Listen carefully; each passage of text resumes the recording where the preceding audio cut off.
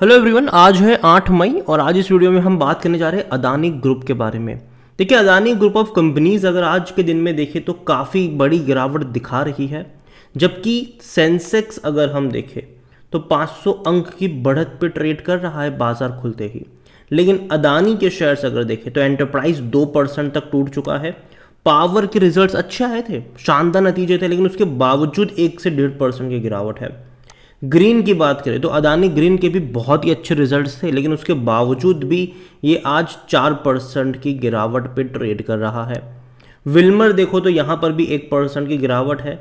Adani gas हालाँकि results काफ़ी ख़राब थे इनके तो पाँच परसेंट की गिरावट बनती भी और, और रिजल्ट्स के बाद लगातार गिर रहा है अदानी गैस का शेयर पोर्ट की बात करें तो यहाँ पर ना ही तेज़ी है, ना ही गिरावट है, लेकिन पोर्ट मुझे लगता है कि अच्छी कंपनी ज़रूर है, लेकिन अभी उस लेवल पर जाके फंसा हुआ है, जहाँ से रिवॉर्ड बहुत कम नज़र आ रहा है।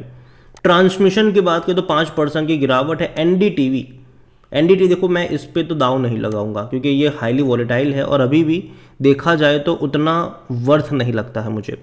लेकिन अंबू जो एक लौती कंपनी है, जिसमें आज दो परसेंट की तेज़ी देखने को मिल रही है। वीडियो में बातचीत करेंगे कि आखिर अदानी ग्रुप में क्या चल रहा है और मौके बन भी रहे हैं कि नहीं? और बनेंगे तो कहाँ पर बनेंगे? और कौन सी कंपनी जो है, जिस पर आपकी नज़र होनी चाहिए? वीडियो को शुरू करूँ, उससे पहले अगर आपने अभी तक चैनल को सब्सक्राइब नहीं किया है तो प्लीज़ अभी इसे सब्सक्राइब कर लीजिए, क्योंकि आगे भी बहुत सारे वीडियोज़ हैं जो आपको काफ़ी ज़्यादा हेल्प करेंगे। तो शुरुआत करते हैं एंटरप्राइज के साथ। तो दो परसेंट की गिरावट है पिछले एक महीने में, अगर आप देखोगे तो पहले बढ़ रहा था। बाद में गिरा, फिर एक तेज़ी आई, अब फिर से गिर रहा है। देखो, मैं पहले भी बोल चुका हूँ, मैं अब भी कहूँगा कि मुझे लगता है कि अगर आपको एंटरप्राइज में ख़रीदारी करनी है तो एक हज़ार सात सौ से लेकर एक हज़ार आठ सौ का जो रेंज है, वहाँ पर आपकी नज़र होनी चाहिए। अगर वहाँ पर ये मिलेगा तो डेफिनेटली अट्रैक्टिव मौके बनेंगे खरीदारी को लेकर। क्योंकि एक स्ट्रॉन्ग सपोर्ट है एक हज़ार चार सौ दस रुपये पर, क्योंकि जहाँ पर जी क्यू जी पार्टनर्स ने खरीदारी करी थी, बड़ी क्वांटिटी ऐड करी थी। और देखिए, जो हिंडनबर्ग की रिपोर्ट का डैमेज होना था, वो हो चुका है। ठीक है? अब मुझे लगता है कि अदानी जो है ना, वो धीरे धीरे अपने कर्जे को चुकाने के लिए पीछे है। और एक बड़ी अपडेट्स उसको लेकर भी आई है। और वो बड़ी अपडेट्स ये है कि अदानी ग्रुप को बैकिंग मिला है तीन जैपनीज बैंक से। फाइनेंशियल एक्सप्रेस की ये रिपोर्ट्स है। रिपोर्ट कुछ इस तरीके से कहते हैं कि Adani group has receive assurance of financial support from three Japanese banks और ये बड़ी बात है, बड़ी बात है। और अकॉर्डिंग सोर्स देखो ये सोर्स के ज़रिए आती हुई अपडेट्स हैं, ठीक है? कोई ग्रुप ने कंफर्म नहीं किया है। Three banks are not in current lender to the group देखो, अभी ये जो तीन बैंक्स है, वो अभी, उन्होंने अभी तक अदानी को पैसा दिया नहीं है। तो ये नए लोग हैं भैया, ठीक है? तो देखते हैं कि क्या होगा और हालाँकि इनको और न्यू प्रोजेक्ट के लिए जो रीफाइनेंसिंग होगी ऑफ़ हाई कॉस्ट डेट्स वगैरह, उसके लिए भी यहाँ पर इनको इवन जो एक्सपांशन को लेकर है सीरीज़ ऑफ़ एक्सपांशन प्लान है, उसको लेकर भी पैसा वो इनसे उठा सकते हैं।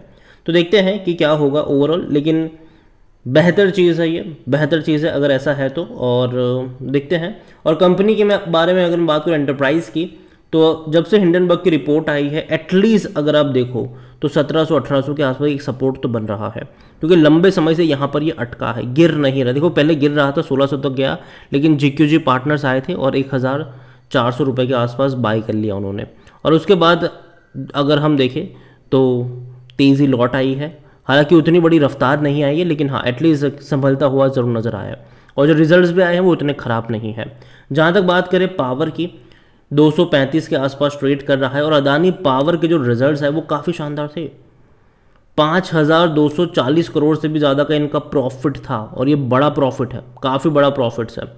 और देखा जाए तो अब तक का सबसे हाईएस्ट क्वार्टरली प्रॉफिट है ये।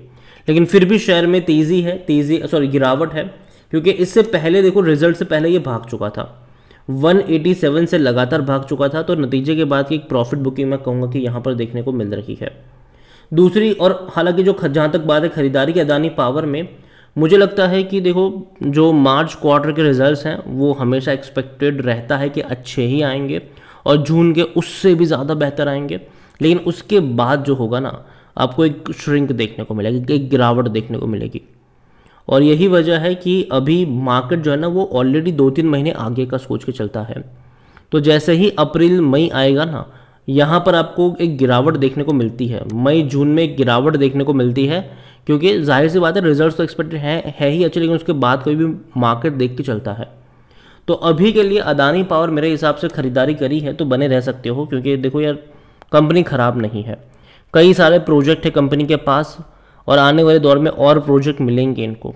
और जहाँ तक बात है बिजली की, मैं मान के चल रहा हूँ कि देखो यार, ये जो सेक्टर है ना, वो धमाल मचाने वाला है आने वाले दौर में। क्योंकि कंजम्पशन जो है आपने सोचा नहीं होगा उस तरीके से बढ़ने वाला है कंजम्पशन और सरकार भी जो है ना, वो भैया पैसा बढ़ा बढ़ा के दे रही है। जिस प्राइस पे 2021 में खरीदते थे, उससे कई ज़्यादा बड़ी प्राइस पे 2022 में बिजली खरीदी गई, उससे कई ज़्यादा बड़ी प्राइस पे 2023 में बिजली खरीदी गई है। और यही वजह है कि कंपनियों का फ़ायदा जो कंपनी है ना, वो अपनी कैपेसिटी को बढ़ा रहे हैं कि जितना बढ़ाएँगे, उतना छापेंगे पैसा। और अदानी पावर भी अपनी कैपेसिटी को बढ़ा रहा है। हालाँकि अगर पूरे अदानी ग्रुप की अगर मैं बात करूँ तो कहीं ना कहीं एक बड़ी डिपेंडेंसी इनकी रहेगी कि सेंट्रल में कौन सी गवर्नमेंट आती है। ठीक है, अगर वहाँ पे कुछ मामला गड़बड़ होता है, तब थोड़ा सा संभल के रहने की बात होगी यहाँ पर। और जहाँ तक बात करें एक और कंपनी ग्रीन की कंपनी अच्छी है, अपनी कैपेसिटी को भी इन्होंने काफ़ी हद तक बढ़ाया है और सरकार से सब्सिडी भी काफ़ी अच्छी मिल रही है इनको।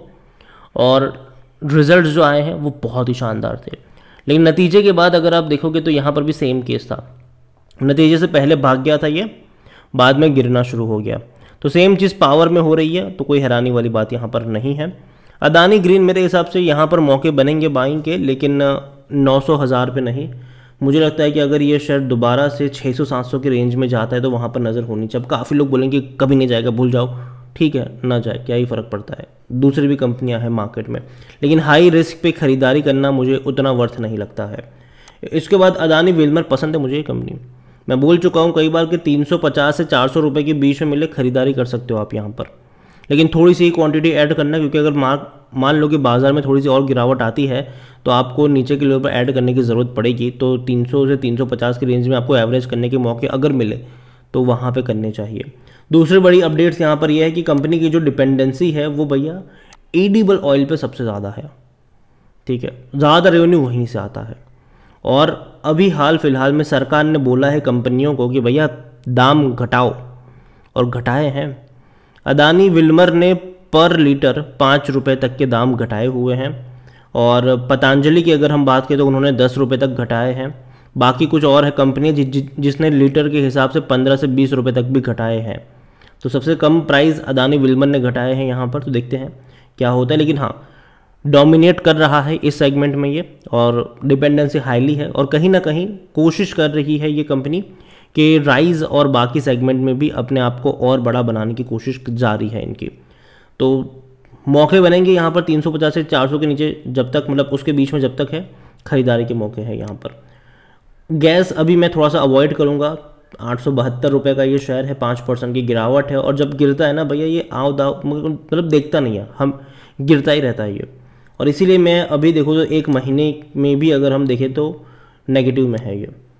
तो अभी के लिए मेरी अवदा अदानी गैस में अवॉइड करने की सलाह है। और जहाँ तक पोर्ट की बात करें, मेरी खुद की यहाँ पर बाइंग की रिकमेंडेशन थी। जब ये बहुत सस्ता मिल रहा था यहाँ पर आपको, जब गिर रहा था। मैं, मैंने कहा था कि सबसे स्ट्रांग कंपनी है ये, अदानी ग्रुप की। लेकिन जब से ये सात सौ रुपये तक पहुँचा, मैंने कहा था कि अब मुझे मौके नज़र नहीं आ रहे हैं ख़रीदारी के, क्योंकि ये पहुँच चुका है जहाँ से ये गिरा था। तो हिंडनबर्ग की रिपोर्ट का कोई असर नहीं हुआ, ये आप कह सकते हो यहाँ पर, जबकि बाकी कंपनी अभी भी गिरी हुई है। तो वापस से गिरा वापस संभल रहा है ये, लेकिन फिर भी मैं कहूँगा कि अभी जिस रेंज पर मुझे महँगा लगता है, लेकिन हाँ अगर आपके पास है तो रखे रहो, लेकिन दोबारा खरीदारी के मौके अगर छः सौ के नीचे मिलता है तो डेफिनेटली वहाँ पर बन सकते हैं। अदानी ट्रांसमिशन मैं अवॉइड करूँगा इसको। अदानी एन जो हाल फ़िलहाल में खरीदारी है इनकी।